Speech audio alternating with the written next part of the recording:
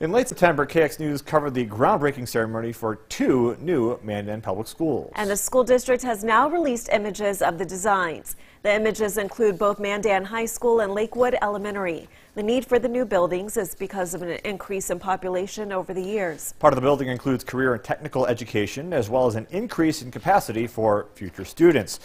The new high school will be able to hold 1,400 students. The district is now bidding their layout more excited for the community to get this going.